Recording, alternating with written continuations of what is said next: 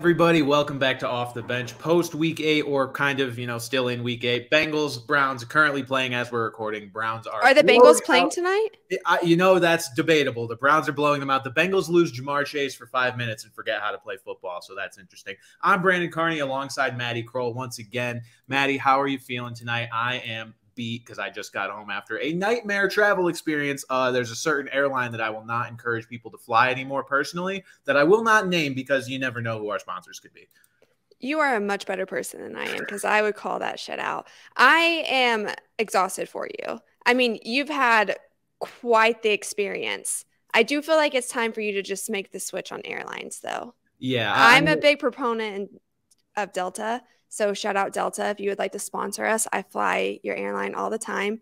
Phenomenal cookies. It's just a whole yeah. experience. But Del- you flew Delta today. Yeah, Delta is who ultimately got me home. They were not the airline I had issue with. Uh, if you follow me on Instagram, you know exactly who I had issue with. But uh, you know, we're back. I really, I, I can't complain too much. I, I have a podcast for a living. Life's life's pretty good overall. Mm-hmm. So this week in the NFL, we finally had some points being scored. Kind of the, the storyline or one of the big overarching headlines of the season so far has been where are the points at? We've got fantasy players wondering, you know, why are all the scores of everyone's matchups so low this year? This week, it felt like the scoring came out fast and furious right at 1 p.m. I looked up and the Lions were up 14 nothing over the Dolphins before I could blink. So, very nice to see some actual points being put on the board for once.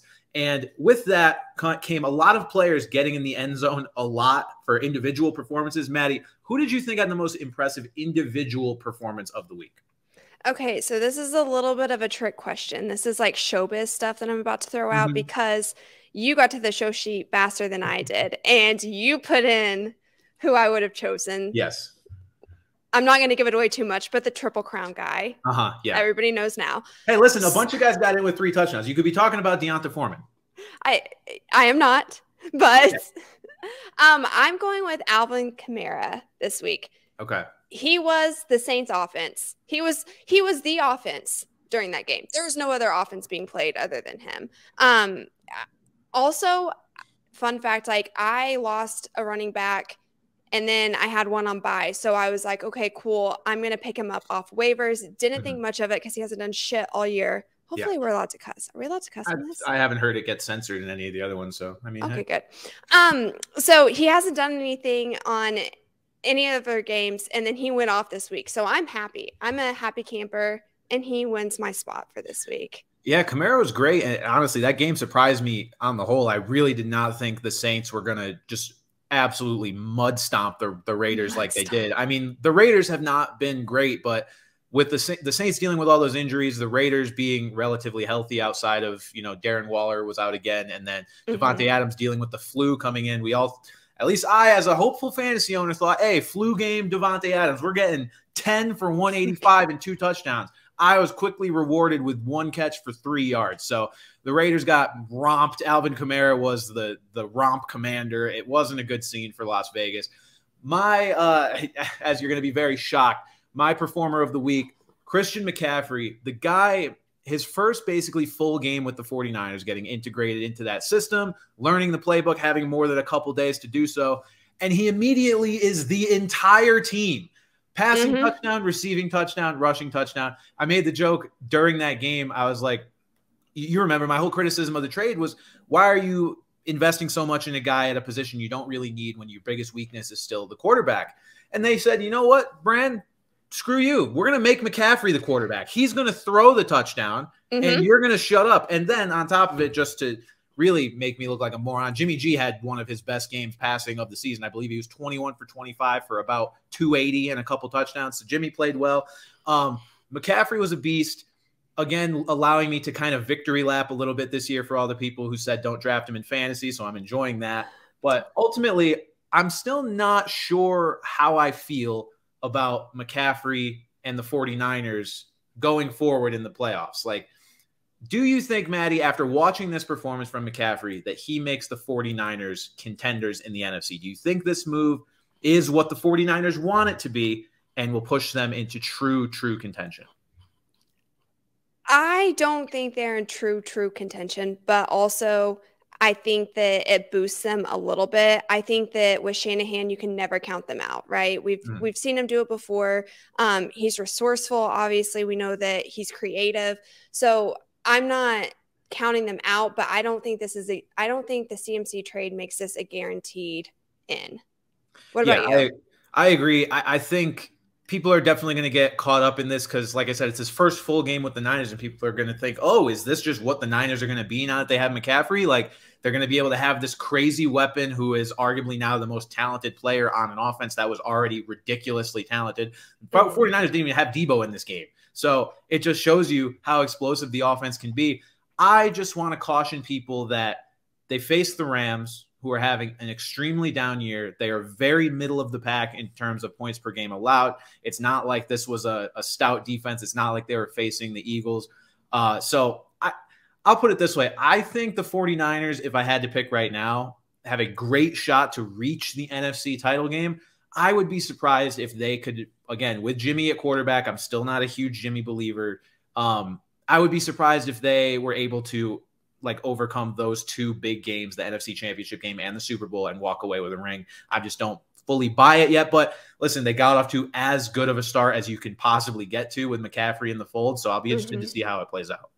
Yeah, and I also feel like this is going to help. I mean, Debo said it himself. It's going to help take some pressure off of him once he's able to just like play and it's not all riding on Debo. I think that we're going to see a big shift. I think that that's where we're going to see a lot more of Christian McCaffrey's um, relief that comes in and his his benefit to the 49ers. Sure. And again, with Debo in the fold too, like, you know, now what we haven't seen a full a full complement of snaps McCaffrey play alongside Debo. Very curious to see how that plays out because as much as I made the joke of, you know, Jimmy's going to bungle it when they throw these guys all over the field, like you can really line a lot of these guys up anywhere. Like you can put Juszczyk in the slot. You can put Debo mm-hmm. out wide, McCaffrey out wide, any of them in the back. You can put Kittle in the backfield if you want. He'll be just fine back there. I promise. So it's going to be interesting to see how that plays out. Um, I think the 49ers are super, super talented team. Also, you've got just the NFC in general is not super deep. So I think yeah. they have one of the most talented rosters. I just you look at the all the contending teams and the 49ers clearly have the weakest quarterback of the bunch, regardless of whether you're a Jimmy G truther or not. I think pretty much everyone understands Jimmy G is worse than Jalen Hurts at the very least in the NFC. And then you go to the AFC, mm-hmm. you've got Mahomes, Allen. He's just not on that level. But maybe he can maybe he can do enough. I mean, they were, you know, a quarter away from winning a Super Bowl over Patrick Mahomes and the Chiefs a few years ago, and they didn't have Christian McCaffrey back then. So Well, I was gonna say, who knows? Maybe it won't even be up to Jimmy G. Right. Yeah. Christian McCaffrey can just throw four touchdowns himself and it'll be totally fine. They might put so, Kittle back there to take a snap or two. I, I, don't know. I would love to see that. Have that long flowing hair. Too. You know, him just trucking people at the quarterback. Basically, turn him into Taysom Hill. I think he'd be better at it, honestly, but we'll see if that comes to fruition. So we go from a team that is one of the favorites in the NFC to a team that is sort of bottom of the barrel, but is now showing a little bit of hope. We've got the Bears and Justin Fields. So the Bears themselves, don't get this twisted, got smacked by the Cowboys. That was the highest, I believe, mm. the highest scoring game of the week in terms of total points 49 29 in favor of the Cowboys. But Justin Fields now has put together two straight really good weeks. The first of which I saw in person against the Patriots on Monday Night Football when Justin Fields was running all over what was supposed to be our calling card, the Patriots defense, and mm-hmm. just making them look silly. I mean, you you have a coach like Bill Belichick, you assume, you know, even if Fields does that in the first half, he may not come out and do it in the second half because Belichick's gonna be like, all right, this is what they're doing. We're gonna stop. We couldn't stop it. Fields seems to finally be finding some sort of rhythm as a quarterback because they're allowing him to run more, run more efficiently, designing more runs. Design more, yeah. Yeah. so runs. it seems like he's definitely improving. Do you think this is the start of him truly making the leap? And not only that, maybe becoming the best quarterback out of his class because that class is turning out to be fairly disappointing. Yeah, I thought Trevor Lawrence was coming along, and after yeah. this week, I was like, oh, maybe not. Yeah. Um. Okay, so here's the thing with Justin Fields. I feel like in the short term, absolutely, he is progressing. I think that, like you said, they started designing runs for him. They came out and they said that they went back to watch Ravens film to see how Lamar Jackson had his design runs, how they were allowing him to execute these big plays, um, and that they were trying to mimic that. And I think that in the short term, that's going to benefit him so much. However, what I'm seeing happen now is he's his pocket presence is just kind of trash. Could that be because that offensive line is terrible and scary? I don't know. They did upgrade a little bit, but you can tell that he still doesn't have that trust. He drops his eyes, and then he does that thing that Patrick Mahomes did last year where he gets panicky and he like he perceives the rush coming even when it's not there and he scrambles when he doesn't have to just because he knows his legs are a threat that's what's going to kill him in the long term, right? We still need him to be a fully developed quarterback because if not, we're going to watch things happen that happened to Lamar where he's going to start getting shut down or he's going to end up getting hurt. So, for long term, I don't know that it's great unless they do something, they bring him in and they try to, you know, develop those areas that he's struggling in. But for the short term, he looks beautiful running. I mean, absolutely beautiful. Yeah, I think I'm taking this as encouraging for Fields development development, you know, more so for a play calling perspective and the team committing to him than, you know, just Justin Fields himself. Like obviously, mm-hmm. we're going to need to see an improvement in the passing, in the pocket presence. All of that stuff is vital for a quarterback to succeed in this league. You can't just be a runner and hope that things work out. That's how you end up with Taysom Hill and he doesn't play except for being a gadget player. So, I totally agree with you, but it's nice to see the Bears finally kind of understanding what they have and that he is a work in progress, but while they're mm-hmm. progressing him, accentuating his strengths, calling more runs for him, and then they can fix some of the pocket presence stuff later on. Because to be quite honest, right now, obviously you want to improve that stuff anytime, like if it's possible, but he doesn't have the receivers or the line for that to be like something that they lean on right now. Like they need to find somebody to help him out in the pass game as much mm-hmm. as they need to help Justin Fields be comfortable in that pocket. I saw um, a tweet recently that was like, we got all these quarterbacks. So Josh Allen made a huge leap when he got Stefon Diggs into the fold. Jalen mm-hmm. Hurts is making a huge leap now that he has AJ Brown in the fold. Tua appearing to make a pretty huge leap with Tyreek Hill in the fold. We need to get Justin Fields somebody that's not I like Darnell Mooney, but you know, better than Darnell Mooney, and who's not Equanimeous St. Brown, and who's not Dante Pettis, whose name I have seen way too much lately, including against the Patriots. I'm done with mm-hmm. Dante Pettis. So I think you give Justin Fields a year. Um, you get him a receiver or two. You know, they have a bunch of draft picks as well. If you can get him an established receiver and maybe a rookie that you can develop, I like the trajectory for Justin Fields. I don't expect the Bears to make some late playoff push because of how Fields is playing. You also see their defense is, isn't worth a damn. Defense is terrible. And they yeah. just traded away Roquan Smith. So obviously they're not really planning to fully contend. Uh, so we've got Justin Fields. Like I said, I'm excited mm. seeing what he can do. The Bears in a weird spot. Don't know whether I'd call that trade good or bad, but either way, they're loaded in draft picks for this upcoming draft uh, to hopefully help him out and now fill a hole on the defensive side of the ball. In the NFC, we'll go with another team that had a lot of hype, still has a decent amount of hype, but one that I wasn't necessarily buying. So the Giants finally lost. Mm. The Jets also lost. We've got the New York teams potentially coming back to reality here a little bit. Madi, do you think it's in what's your take on them losing? Is this actually back to reality, back to the status quo, or is this just sort of a speed bump for the two New York teams as we head into the remainder of the season? So we don't have to talk about trades anymore about the trade anymore because I've right. already I've already said my piece there. Um, just wrong player. Um, I feel like yes, we're starting to see a little bit of that. Can I just be honest? I love Wink, Wink Martindale, and I mm-hmm. feel like he was a big reason for their success. The way he's he has adapted his defense per team that they've faced. I think eventually that kind of your defense can only do so much. I mean, what happened this week is Saquon just kind of got shut down compared mm-hmm. to what he's been doing. So I think that teams have kind of started to be able to figure them out just a little bit. They don't have any more tools in their bag, any secrets in their bag, I don't think. So I feel like we've reached the height of what the Giants can do this year.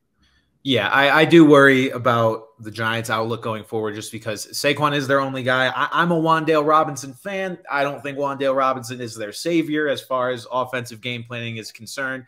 Uh, you know, not that anybody was counting on a Kadarius Toney return, but he's out of the picture completely as well, so he won't be helping them out. Um, I mean, what a trade for the Chiefs, by the way. I feel like they're going to maximize his potential, and we're going to be looking at Kadarius Toney as a top 20 wide receiver next year because it's the Chiefs. Do you think so? I, I don't top 20 might be aggressive, but I just I can't get that one game that Kadarius Toney was just dropping dudes out of their ankles out of my head. And now that he's going to a team like the Chiefs that has relative opportunity for wide receivers at least next year. Um, and you know, I feel like they recognize talent and they know what they want to do with guys, so it'll be it'll be fun to watch. Um, but I, I do think the Giants are a little bit fraudulent in the sense that they weren't going to make any noise in the playoffs this year. They can still backdoor, uh, not backdoor. They're six and two. They can still make the playoffs. Um, mm-hmm. I don't expect it to. I don't expect them to make any noise. And then the Jets, um, the Jets losing to my Patriots. Hallelujah! We closed the gap in that division a little bit. I am not enjoying being a fan of a last place team right now, which we still are even after that game. But, but you won your bets, didn't you? I did. I did win that bet. My game picks. We'll get into our go. next week's game picks pretty soon, but I did get that pick right, which was nice. Um, especially since I made it before we got trounced by the Bills on, or the Bears on Monday night. So you know we're we're bouncing back a little bit, but yeah, the the Patriots beat the Jets on the back of five Nick Folk field goals and one mm-hmm. touchdown. Mm-hmm. Um, mm-hmm. And also, we kind of saw that Zach Wilson is reckless. It, doesn't yeah, doesn't make, like protecting the ball. Makes some rough decisions at times. I mean, Robert Saleh did come out and say that you know this was an uncharacteristically bad game from him, where he wasn't protecting the ball. But like, you can't have those kinds of meltdowns. You don't see top tier quarterbacks make those kinds of meltdowns. I remember before the season, I believe it was Dan Orlovsky was saying like Zach Wilson can make a, a Patrick Mahomes sort of leap this season. And I was, first of all, I was like, okay, I mean, this guy knows a lot more about the quarterback position than I do. I'll have my eye on him for sure, but I was skeptical. And now we're seeing this. I don't I don't think Zach Wilson's their guy. I don't think Zach Wilson's going to be able to lead the Jets to a playoff appearance, at least not a successful one. And it also raises some eyebrows that they elevated Mike White to be the backup this past mm-hmm. week after how well Joe Flacco has played or played in the first few weeks, like one of the leading passers in the NFL, you can't tell me that Mike White wasn't elevated to put a little heat on Zach Wilson because everybody knows Joe Flacco's not the future of the Jets, but Mike White right. played a good chunk of games, is actually young. And if Zach Wilson keeps playing this poorly, like that noise is going to get a little louder. I feel like the Jets almost want him looking over his shoulder just a little bit. And they know an aging vet isn't going to be the one to take his job. But Mike White, who knows? 100%. I do think that losing Breece Hall was obviously like the big mm. thing here. That was a big hit. But the thing is, is their defense played decent. I mean, Mac Jones was sacked six times right. and the Jets just couldn't do anything with it. Like he was given opportunities. You can tell that he's not focused. It almost looks like the game's moving too fast for him, which is a huge concern because at that point, like you're having to go back down to basics. He's regressing instead of progressing. So hopefully this lights a fire under his rear. I don't know. I, but it can only do so much. I apologize. My dog is being incredibly needy tonight. We have a special guest on the podcast. Madi's he looks dog. like a raccoon. You guys, he's so ugly, but he's so cute and sweet. Um, just needs a lot of attention, you know? I would like to know what your dog thinks of Zach Wilson. Dog, do you believe Zach Wilson has that dog in him as an expert on the subject? Silent. anything? That's pretty much how I think everybody feels about Zach Wilson. We're all just He's like, is that even a question? I just yeah. want my ball. He's like, absolutely not. So no he's crawling up here because I have this ball. Um fair. But it squeaks and it's so annoying that I won't let him have it. So that's that's what he's wanting right now. You're gonna hear that in the background of the entire podcast. I totally understand that, but hey, listen, more annoying wants, than Zach Wilson throwing the ball away.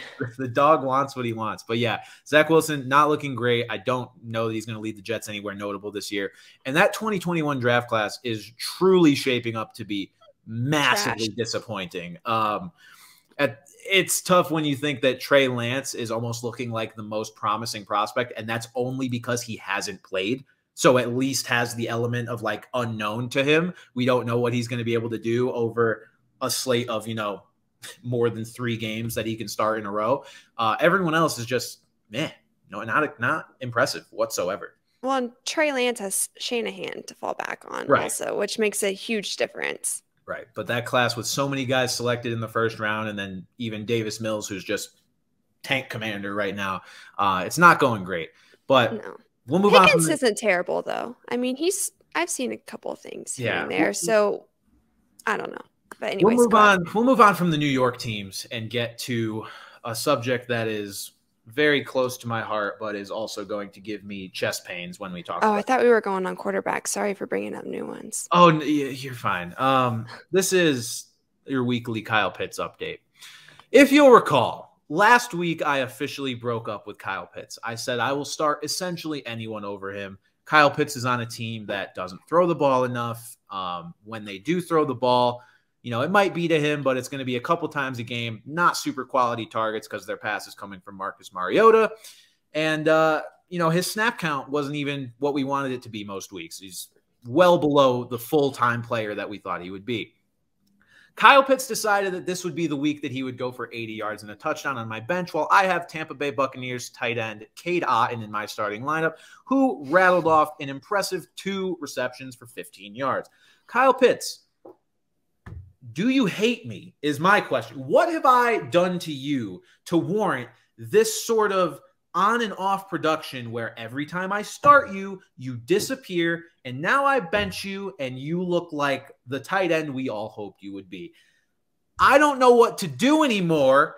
I'm losing my mind. Am I wrong? Am, am I off base here? Like, what is happening? I don't understand what to do anymore with Kyle Pitts. Fantasy football is fun. Um, this is like a cat and mouse game, right? This is like he's playing hard to get with you. What are you gonna do about it? It's it's cat and mouse, except I, I don't know which role I am in the cat and mouse. I guess I'm the cat chasing the fantasy points that are I'm the loser. Yeah. Whoever whoever I am, I'm losing the battle. But I guess I'm the cat chasing the fantasy points that are the mouse, but I'm also just getting my paw stuck in the air vent on my way there and need a trip to the vet because I, uh, I don't know. And the worst part, too, is I could have had Greg Dulcich, who at least had four catches for 80 something yards this past week for the Broncos. But I was like, I don't want to invest in any more Broncos. I've been there, done that. That only caused me pain, too. So the tight end position, again, I advocated for it last week. I'm advocating for it again. Remove it. No more tight end position in fantasy football. Make it another flex. And those of you masochists who want to draft one early, like Kelce or Andrews, can do so and put them in your flex. And the rest of us can stop trying to play the roulette of Kyle Pitts, Greg Dulcich, Cade Otton, One Eye Daniel Bellinger, Hayden Hurst, Hunter Henry, whatever other garbage tight ends are out there that you try to throw into your lineup and just pray that they get more than three targets in a game. I just Kyle Pitts, you've broken me. You've broken me. You've led me to my worst fantasy season in my 12 years playing the game, and I will not forget this. Just know that. Are you going to start Kyle Pitts next week? Madi, you want to know the worst part? I'm going to the Falcons game next week. So I have a buddy who is a pro scout for the Falcons who has hooked us up. We're going to visit him. We're going to have a nice little weekend and then go to Falcons Chargers. Am I going to start Kyle Pitts? Probably. And I'm going to hate it because he's going to break my heart in person. And I'm going to watch MyCole Pruitt probably catch another touchdown for the Falcons. If he's even still on the roster, to be honest, I have no idea what his status is because he was barely on the roster when he caught the touchdown last time. He got called up the day of. So yes, I'm probably going to start him. Yes, I'm probably going to be in more pain. And yes, we're going to have another Kyle Pitts update that is just as, if not more heated than this one. So that's where we're at with Kyle goddamn Pitts. Just let Brandon score. I mean, come on, Kyle. Stop being a prude. I mean, so my fantasy team scored 42 points total this week. We don't have to talk about it. Oh um, okay. On to something lighter. Pray for Brand. On to something Brand. lighter. And this is a discussion that will not include Kyle Pitts. It is our MVP candidates draft. So we brought up this uh, segment last week where we, Madi and I, will draft a certain topic, whether it's players or just any abstract idea uh, that we come up with. So this week's draft, we will be alternating picks and we will be seeing who comes up with the best list of five MVP candidates. Now, obviously, we are not just ranking MVP candidates, we're picking from a pool. So don't roast Madi for not having Josh Allen because she's not going to. I'm going to pick him. And don't roast me for not having whoever she takes with her first pick. It's just a draft. It's kind of just a fun way to break this down and get into some guys who are more low key potential MVP candidates if things break a certain way, because this will force us to get 10 guys into this conversation. So, Madi had the first pick last week in our QB wide receiver duo draft. With me having the first pick this week in the MVP candidates draft, I think it's pretty obvious. I just said it, taking Josh Allen. Doesn't have an MVP yet, so he's got that narrative on his side. The Bills are rolling over everybody. Josh Allen's been a monster. It's just an easy argument to make. I'm sad. I mean, I think that's all I can say about that. so, no Josh Allen for you. Sorry. I will go Jalen Hurts because he has every tool around him to set him up for success.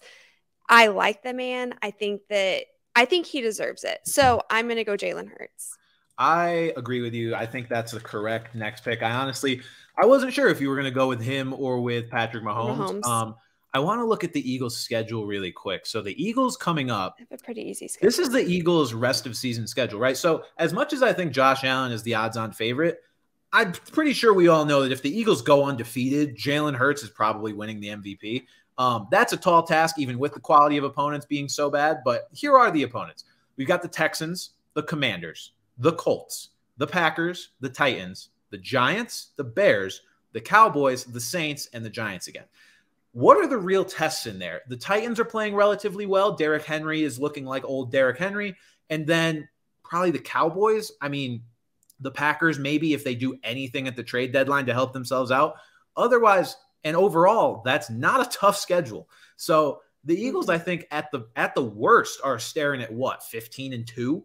Uh, they actually have a shot at going 17 undefeated. Yeah, yeah, they have a shot at going 17 and 0, which is absurd for a guy like Jalen Hurts who is, you know, this is this is his leap forward year. Like when we saw the Patriots have that undefeated season, which I don't want to talk about it beyond what I'm saying right now because that broke my heart too. Uh, that was Tom Brady just in the peak of his powers. We knew what Tom mm-hmm. Brady was already. Like to see Jalen Hurts leading a team like this, obviously the defense is super talented and they put weapons around him, but for Jalen Hurts to hold it down, ripped up the, the Steelers this past week uh, with AJ Brown and AJ Brown also getting penalized for celebrating too much you know, it's it's incredible what they've done, and I would love to see Jalen Hurts get an MVP. With that said, I'm taking Patrick Mahomes with my next pick. Mm. Um, him and him and Allen. He had a crazy still, game this week. Yeah, I, yeah, I know. So I think him and Allen are still the top two uh, MVP candidates, or sorry, top two. You think? Oh, it's like you think that that's the top two? No, no, no, not top two MVP candidates right now. Top two quarterbacks overall. I mean, Hurts again, just the fact that it's only been seven games, I'm fully convinced that Jalen Hurts is an elite NFL quarterback. I just think you'd be hard pressed to find people who, hey, rank your NFL quarterbacks that are really going to put Hurts over Mahomes right now. So I'm happy to have the two biggest names probably in the discussion, but no, mm-hmm. I do think I do think Hurts is firmly second in that ranking right now. So I've got Allen and Mahomes. You've got Hurts. Who's the next pick? This is where it gets hard because that's really where I cap off my actual probably pro- like who has a yeah. chance to actually win, right? right? So I did have Joe Burrow was going to be next on my list. How's tonight after, going? After tonight, I'm like, like that's why I'm just like looking at the TV. Like, do I just go with it? My other choice was Lamar Jackson. That's kind of a toss up. Mm-hmm. Right now, I guess I'll go Joe Burrow just because I feel like I and we'll just go Joe Burrow. No, I nah, I'm gonna go Lamar Jackson. I'm gonna go Lamar Jackson. Okay, wow. you can have Burrow if you. The hard, the hard pivot to Lamar Jackson. So Lamar Jackson mm-hmm. was my preseason MVP pick, and then after his first like three games, I was like, cool, that's mm-hmm. gonna be correct. And then not so much lately, but I mean, plenty of time left. If the Ravens can squeak yeah. into the playoffs, it's possible, but interesting. The thing that made me switch my mind is we still have a contract that needs to get done. He wants he just wants to win a Super Bowl. He just wants to get as far as he can. He wants to make it to the playoffs. I feel like he has a little bit more in him. The Ravens just need to help him out a little bit. So I don't know. I'm going to go Lamar Jackson. All right. I respect that. And with that said, I will go Joe Burrow. Uh, mm-hmm. Uh, yeah, not the best game tonight for the Bengals overall, but his stat line is actually, he's recovering it relatively well. I mean, he's, I think, I just had it up 24 for 32 for 218 and two touchdowns, one pick as it stood right now. Uh, no Ja'Marr Chase, but listen, if you're evaluating MVP candidates, honestly, saying, oh, Joe Burrow doesn't have Ja'Marr Chase, we can't really say that that is like a, a, oh, poor Joe Burrow thing. Like, that's already an embarrassment of riches to have Tee Higgins, Tyler Boyd, and Ja'Marr Chase. So, like, you should still play well without Ja'Marr Chase if that's if you're a real MVP candidate. And he's bouncing back a little bit. This game isn't what we wanted to see, but that's what puts a guy, you know, fifth or so in MVP voting. Like you said, there's really yeah. three guys right now in that true discussion, but it's a long season and there's other guys that can enter that conversation and elevate themselves. I think Burrow's one of them. This is one bad game. He can bounce back from this. The Bengals as a team have been finding their stride lately. That's why this is going to be a pretty unfortunate result for them. They are going to lose this game, but Burrow still in that conversation. I can't tell if you're an optimist or a realist. I can't tell right optimist now. or a realist. That's a. I, I like to think I toe the line with both. Sometimes, here's what I'll say. I think in the NFL, optimism and realism almost go hand in hand because chaos rules in the NFL. That's true. So like anything really can happen, and when you have what do we have? This is week eight so we've got nine weeks left of the regular season. Like the season can flip on its head still. So I just look at it like, like no, I'm, I'm not going to sit here and tell you that uh, I don't know Kenny Pickett can win MVP because anything can happen. But with a guy like Burrow, it can. so Madi, who's your third pick? You know what? F it. I'm going to go Tua. Mm. Why okay. not? Why not? Okay, Tua. I don't hate that, especially given what my next pick is probably going to be. If you would have asked me preseason, I probably would have said Justin Herbert. His offensive line fell apart. It was the right side. Then we lost Slater, so he just can't do anything right now, and mm. it's it's looking very bleak. So Tua's got that dog in him. As long as he stops headbutting people and diving, I think we'll be right. fine. No. But he's got he's got I mean he's got Tyreek Hill, he's got Waddle down the field, and he, he's getting the ball out quick thanks to that concussion. So I'm throwing him in there. I like that. All right. My next pick, I actually switched it. So I was originally going to have somebody that was related to Tua in a way. We'll see if I get to him my fifth pick. But with my fourth pick, Geno Smith. I actually think he legitimately needs to be in this discussion. Um, Do you? You think it's like a legit I, pick? So, so okay. Season ends right now. Season ends tomorrow. Geno Smith probably isn't getting a ton of votes. The Seahawks I thought this team was going to be actually in contention for the number one draft pick coming into the year. That's how bad they were because you were coming into the year with Geno Smith and Drew Lock competing for the quarterback position. No other strengths on that team really to speak of, other than I mean, I liked Kenneth Walker, um, mm-hmm. and knowing that they that he was probably going to get the lead back role at some point during the year. I was like, okay, I like their run game. They have good receivers too. But other than that, so many weaknesses up and around this team. And in a division that we thought would be better than it is above them, like we thought the Rams would be really good, the Niners would be really good. The Seahawks are playing incredibly well. And Geno Smith is, I'll say the reason for that. They're in first place in the NFC West. Geno is throwing dots on a regular basis. Like, I'm in awe of what he has done with his career this late. Like I remember him being just in shambles on the Jets when he first started. And now to see what he's doing, like he looks like a totally different quarterback. So I I think if the season ended today, he's probably not getting many votes as long as I, am actually not sure how the voting works. Is it you get first, second, and third place votes? Those are the only ones that count. Maybe he'd get a couple yeah. thirds. I mean, I don't know, but I think he's got the narrative on his side. He's got the play on his side. I mean, he is leading the league in completion percentage. Like Geno Smith, like that sounds like if you came back and told me that preseason, you were like, "Yeah, I'm tra- time traveling from week eight. Yeah, Geno Smith's leading in completion percentage, and the Seahawks are in first place." I'd be like, "Oh, that guy's winning MVP. Like he has to. I don't think we have a choice."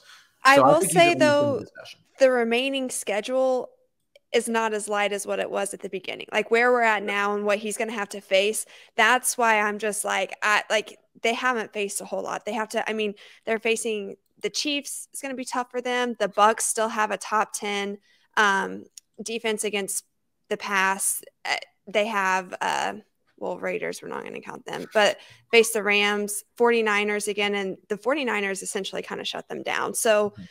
I don't know. We'll see how he pans out the rest of the year, but I don't hate that pick.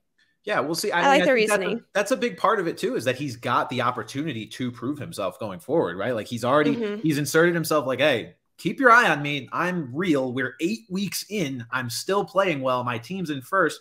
Like, you have to take me seriously now. And now, if he does knock off like the Bucs and the 49ers, and they even they play the Chiefs, they play the Rams twice still, who again are disappointing, but are still probably many people will think they're better than the Seahawks overall. Um, and will probably make a move at the deadline as well. The Rams will, I think.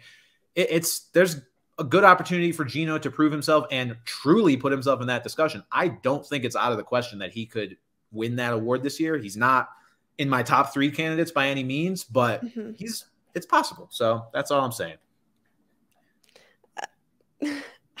I almost feel embarrassed to say this because this quarterback lined up behind the wrong offensive lineman last year.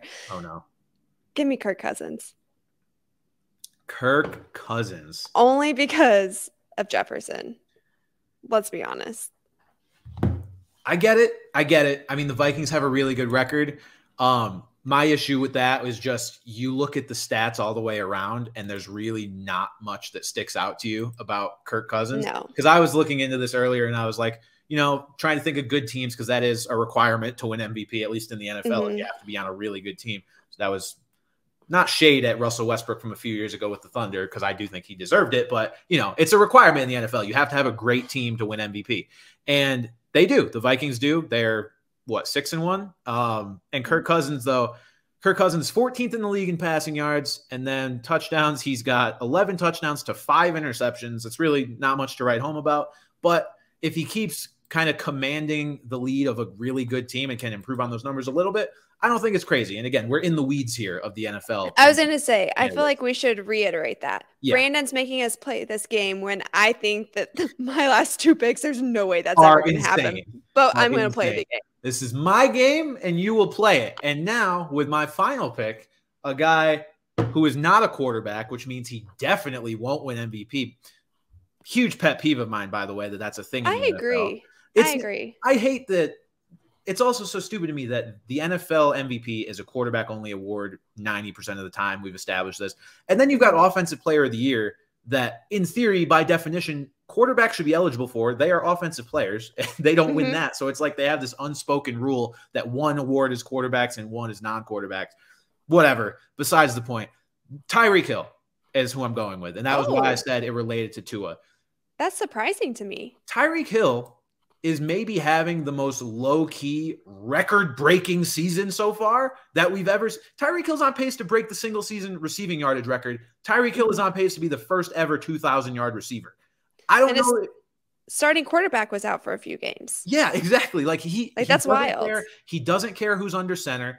Um, I you look up, this guy has 180 yards every game. Like it's when he was on the Chiefs, you had a bunch of down games sort of mixed in. Like Tyreek Hill was that huge boom bust, but game breaker player that defenses had to key in on, and sometimes they did it effectively while Mahomes just chucked touchdowns to everyone else. So he's still worth, you know, whatever he's being paid, and he's still one of the best receivers in the NFL. With the Dolphins, the numbers are there every single week. And I know Mhm. we have an extra game now than we did when Calvin Johnson had that record, and technically Hill isn't on pace to break it if there was only 16 games. But nevertheless, he's on pace to break one of not the most maybe one of the most unbreakable looking records. Like knowing what the NFL is nowadays, I think that's incredibly impressive. I don't think people are talking about it enough. And if he keeps on that pace, Tyreek Hill is what kind of makes this Dolphins offense lethal. Oh yeah. well, I do feel like a big part of that is that Waddle's on the other side, and that kind of opens up one. Of, you have to Mm-hmm. Sure. choose. You can't shut them both down. For sure. So I think that having him is obviously beneficial. But I mean, to come in to be quarterback proof, first of all, he's learned a new offense. I mean, eh, I agree. I mean, he would 100% be in the talks. yeah, I just. I just wanted to give him a little nod because the last year I was firmly on the Cooper Kupp should be MVP train. Um, Aaron Rodgers had an amazing else. season, but you know Cooper Kupp, the fact that he wasn't, he should have been the favorite for that award. But it is I what it is. agree. Quarterback award, MVP. Um, but wanted to give uh, Tyreek Hill a little bit of love there. So Madi, who is your final pick? I'm sure this will be uh, a guy who's we definitely done. going to win. I believe since I started it off, that was my fifth pick. So you've got Jalen, Lamar, Tua, and Kirk. So you've got one more to throw at us. Oh, can I pick Jalen again? Jalen, Hurts, Um, uh, Pierce. He's off the board. Sorry. we'll go. We'll just say that Tom Brady gets his shit together. He has the breakup glow up, and Mhm. he goes off. okay. I like that. It might be his last season. We'll let him have it. I like that. There was that whole TikTok trend going around of like, oh, my boy's girl broke up with him before the game, and you just see him like stewing, like right in the locker room before they go out, just bobbing their head, looking like they're about to kill somebody. That might be Tom Brady for just this next year and maybe the next 10. Because at this point, what reason does he have to quit football? He may as well just keep playing. And like I said before the show, uh, Tom Brady, I don't know if anybody realizes this, is still leading the league in passing yards. And I know sometimes that's not the best thing because it just means your team is down a lot. I was going to say he's having a chunk. Yeah. Stafford led the league in passing yards a million times on the Lions for that exact reason. So it is indicative of the Bucs' struggles as well because he only has nine touchdowns. But again, touchdown mm-hmm. interception ratio nine to one. Brady's numbers are still salvageable in terms of an MVP race if he can turn the team itself around. But as of now, that's a huge ask. I don't think it happens. But, but I mean, possibility. Gronk may come back, which we know Brady needs a good tight end. I'm sure at this point, retirement. Yeah, I think Brady would probably agree with you at this point. Like, let's just get rid of the tight end position because yeah. he can't get a good one. Nah. Um, but I don't know. It, stranger things have happened, right? It's the NFL. Get Moss out of retirement, get James White back in the mix, give him a new hip or something, get Julian Edelman in there, you know. He could, full, he could turn things around. Tom Brady goes full like robot mode. Kyler Murray's controlling him. It's like a video oh, game. Oh no, no, Kyler Murray's controlling him like Ratatouille. He's just inside his helmet. Like Tom, run. and Tom's just like, no, Kyler, my legs don't work like that. All right, let's get into next week's game picks. So this past week was a little bit better for me. Um, one of the picks is not going well. The game is not quite over yet, but I did pick the Bengals. I believe it was minus three versus the Browns. They are currently losing by 19. However, my other two picks did go well. And those were the Patriots against the Jets. I believe the Patriots were minus two, and they covered that. And then my other pick, I'm blanking on what it was, but I know it hit. Give me one moment. Uh, what do we have? We had uh, Seahawks minus two versus the Giants. So those hit. Hey, two for three. That's a good. I'll take that. We'll take That's that. A That's a winning record. If we a win's a win. Week, if we can do that every week, we'll be in the money. So these next week's picks, uh, I feel relatively good about. And so I'm starting it off with the Falcons plus three versus the Chargers, not just because I'm going to the game and will be a pseudo Falcons fan for a week, but you look at the Falcons schedule even the games that they've lost, they have kept tight pretty much every time. Mm-hmm. And I think in our heads, in my head at least, the Chargers are a lot more talented team, but they're not the scary monster that we thought they would potentially be coming into the year. So I think the Falcons do enough to keep that game close. I think plus three is a reasonable line. So I'm going with that. Um, my next pick, Patriots minus six versus the Colts. Call it a bias pick, call it whatever you want. The Patriots defense got back on track this past week against the Jets after getting drubbed by the Bears. Now they get to face a essentially rookie signal caller in Sam Ehlinger. He's getting his first taste of starting action in the NFL. Uh, I don't think he's going to light the Patriots defense up. Jonathan Taylor still isn't playing great and has been battling nagging injuries. I think the Patriots can win this game by a touchdown fairly easily. By the way, the yeah. Colts are 32nd in total offensive DVOA. They are the worst good? in the league. That's that's good, right? I think I heard it's like golf, right? You want to you want to have the lowest. No, they are the oh. last. They're 32nd oh, oh, in okay. ranking. So they are uh yeah, so they're so under 25%. Got it. Okay. So the Colts are a really good football team, is what I've gathered from Madi's stat. That's awesome. And then finally, we've got the Vikings minus three versus the Commanders. I think the Vikings at six and one. Six and one. I want to make sure I'm right with that. They've had their bye, right? So yeah, six and yeah, one are facing the Commanders, and I just am not a Commanders believer. Taylor Heinicke, I love him. I do like that. I don't know if you saw this, Madi. He every week that he wins I think it's that he or no, I think it's every week he plays like over 60% of snaps. He gets a huge bonus in his contract, like $125,000. And what he's been doing is if he wins that game, he buys Jordans with the team colors of the team he just beat, which is just I respect awesome. it. I just, respect it. awesome. Sorry, there's apparently a fire. Did somebody uh, just get murdered outside I, your house? Listen, I'm in Denver. It may have been Russell Wilson, even though they beat the Jags, but knock on wood. He's doing high knees again. He might be high knees in downtown. Somebody took him out. Get out of the road, Russ. Um, Stop doing this. I don't know if I'm going to get in trouble for this. Yeah. But I'm going to do this anyways. We're not live. Um, I was recently invited to join Raya. Do you know what that is? I do not. Okay, it's like a celebrity dating app. How I was invited, I have no idea. Guess who the second person I saw on there was? Okay, it can't be Russell Wilson because he's with Ciara. Tell me it wasn't Russell Wilson. Okay, it wasn't Russell Wilson. Tom Brady. He's single. Heinicke. Oh no. Yes, I was Heinicke? like, what? do I slide in the DMs wow. or not? But then I got swiped. I'm probably going to get kicked off after that comment, but the world should know, right? So it was a public service announcement, so right? I'm on the show right now saying that I'm picking the Vikings to beat the Commanders by three. Madi, all I'm saying is that there's a world where you help that happen. I'm not sure of the specifics behind it, if you can just keep him, keep Heinicke occupied, maybe a little less, you know, studying goes on. Maybe we get sort of a Kyler Murray situation, except instead of Call of Duty, you guys are doing something else. I don't need hear no evil, see no evil, whatever. Keep, I don't care. I'm just saying you can make this happen. You can make us go three for three for the first time. That's all I'm saying. I I love the faith you have in me. Um, Maybe I'll take one for the team. I'll let you know. Listen, I'd appreciate it. It would make us look great, make us look credible. I just need my picks to be right. Because as of right now, I think we are exactly 500 because I went one and two the first week and then two and one this past week. So I got to get over that 500 hump and show that everyone that, you know, we're profitable here at Off the Bench. We are. I think we'll win without without me um, interfering. However, we'll see what happens. Or or Heinicke's going to be walking away with some purple and white and yellow Jordans next week. So we'll see mm. which way it goes. Um, Madi, another way that you have a chance to potentially be involved with Taylor Heinicke is DFS on FanDuel. So we are launching a new contest, custom off the bench DFS contest. Opportunity to play against both myself and Madi. $5 entry maximum of 150 entries in this contest.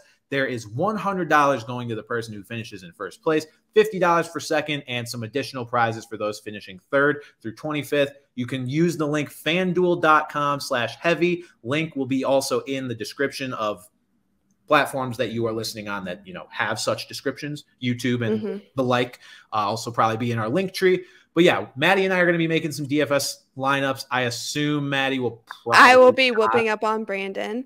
Yeah, I, I listen. I'm just assuming you're not going to use Taylor Heinicke, but like, you know, you can if you want.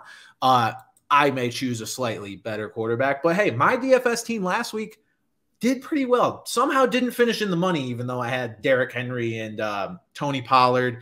Somebody else who did really, or uh, it was was it AJ? No, Jaylen Waddle. So I had a bunch mm. of players who went off, but my guess is just that you know everyone else in the world also had Derrick Henry because he is as chalk as chalk gets against the Texans, which totally I, understand. He just has his way.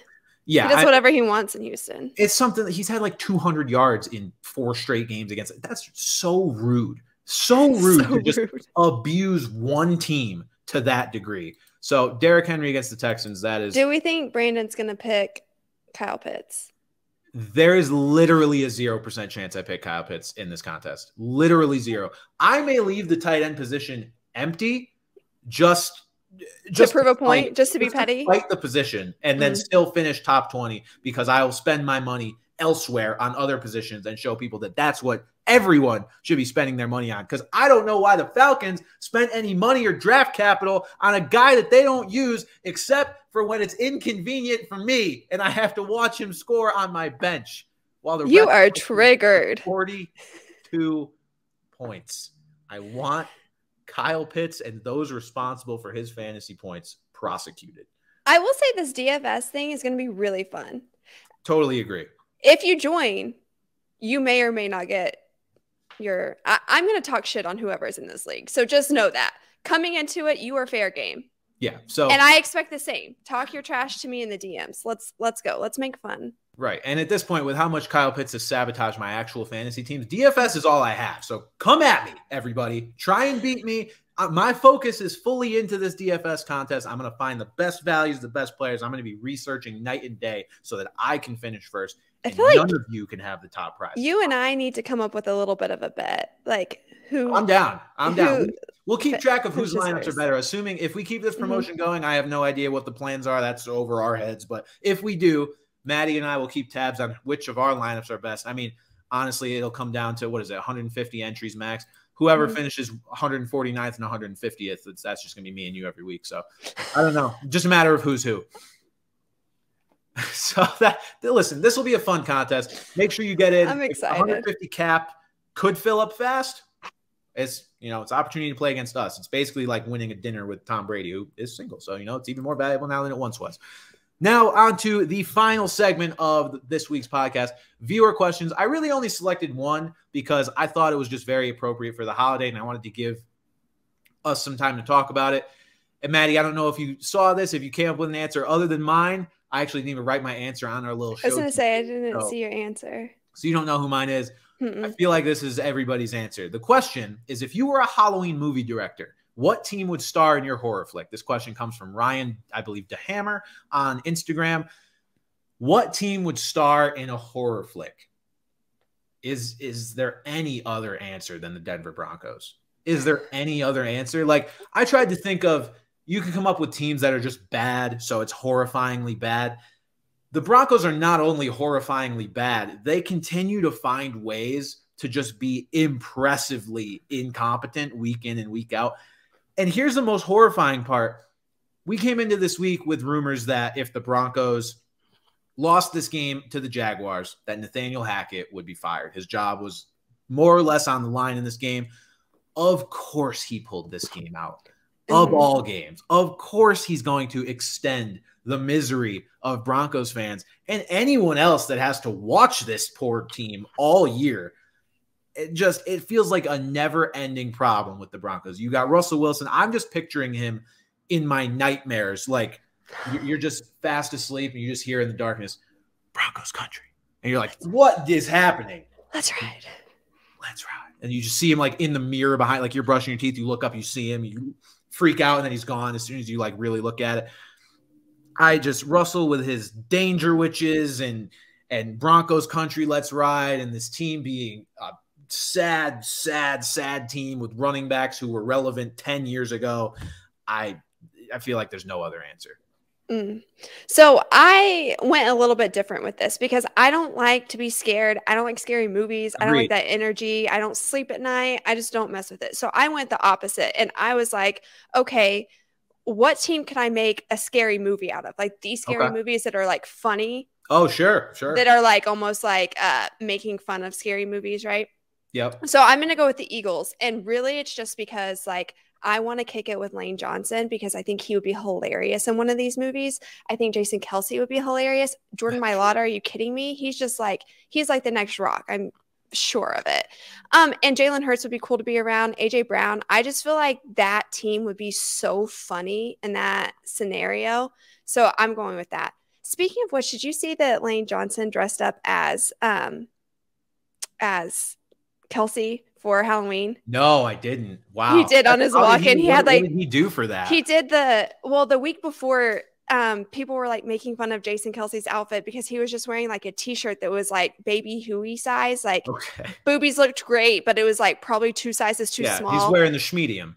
Yeah, it was a schmedium. A little bit of the belly was hanging out. Okay. His hair was just all over the place. He's wearing jeans and flip-flops. I'm just and picturing like a he had like a, a satchel doll. This sounds awful. I'm about to send you the picture. So fashion obviously wasn't a big deal, but he was like, I don't care about the way I look. Basically, it was just like I'm this. I'm here to play football. I don't care about how I look. So Lane Johnson literally repeats the outfit, and he was like, I don't care how I look. Fly Eagles fly, and he's like walking in in his flip flops, and That's I don't know incredible. why. It was just so funny. That's so incredible. That's where I went with that one. No, I like that's that. That's a good question, Ryan. Yeah, it's a really good question. I mean, I thought we're literally recording this podcast on Halloween. Obviously, it's going to come out on November 1st, but I, I, felt like it was just too appropriate not to use and too many directions we could go with it. You go in the comedic route totally makes sense. AJ mm-hmm. Brown mm-hmm. is apparently very funny because after the celebrations that he had this past week, he's first of all doing this, telling people they're too short, and then the one that he got very much in trouble for was pointing at the two guys. And we found out after the fact that he said, one guy, two, not enough. So he's just emasculating people. I love it. Scoring a bunch of touchdowns.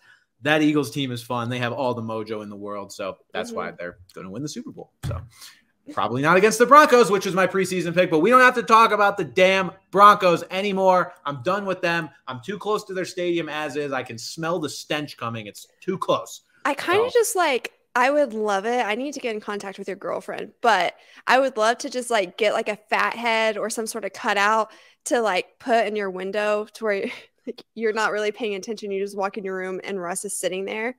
Like I've got to figure out a way to make that happen. Madi, just truly, to haunt you a little bit. Truly, if I see any picture of Russell Wilson or Kyle Pitts ever in person, I will bash my head through our wall, potentially floor. Our floor is concrete, maybe the countertop because it's granite. Whatever's going to hurt me the most and make me not have to think about the pitiful performances that these two are putting everyone through every week, except for Kyle Pitts this week. I I can't do it anymore. I need, Are you going to Tua yourself? I need a nap, is what I need. You and you know what? You've earned now it. we're at the end of the podcast. It was Frontier Airlines. They're the ones that put me in pain. And they're the reason I'm extra angry with Kyle Pitts and Russell Wilson shenanigans. So that's where we're uh, at. Do better, Frontier. Do better. Do better. All right. So here's what we're gonna do. Everyone, be sure to join that DFS DFS contest and try and beat mm-hmm. Madi and I. Madi and I will also be simultaneously competing against each other and let you know whose lineups were better. And let us know whose list of MVP candidates were better. Again, it was a draft format, so she's not going to have Josh Allen. I'm not going to have Jalen Hurts. Doesn't mean it's a stupid list. It's just the way we formatted it.